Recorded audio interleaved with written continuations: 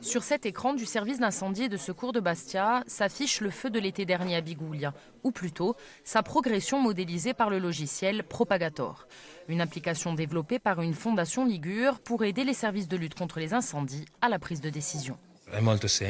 C'est très facile, il suffit de définir un point de déclenchement, de renseigner les conditions de vent.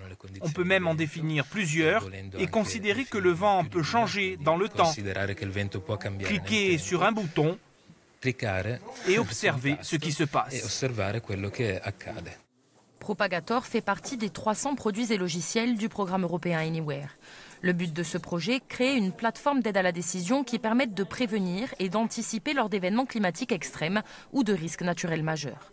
Depuis deux ans, les applications sont développées en laboratoire. Elles vont désormais passer en phase de test dans six régions pilotes, dont la Corse. Vous avez de la neige, vous avez des altitudes assez importantes, vous avez la côte, la mer, des pentes importantes pour le phénomène torrentiel.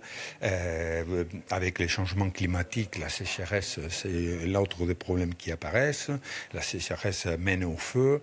Alors il y a, tout euh, un peu dans une région qui est, qui est relativement euh, petite.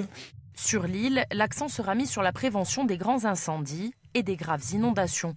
Pour l'instant, les services de secours travaillent à la connaissance du terrain. Euh, si on regarde les dernières inondations qui ont touché le secteur de Fouria notamment, on se rend compte que ce qui nous manque, c'est de savoir dans quel délai on va dépasser certaines codes d'alerte. Et ça, c'est tout l'intérêt de ces outils qui vont nous dire dans une heure, dans deux heures, voilà ce qui peut se passer si la pluie continue.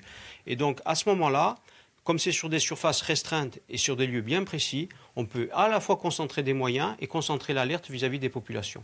Coût du programme 15 millions d'euros financé par la Commission européenne et la Suisse.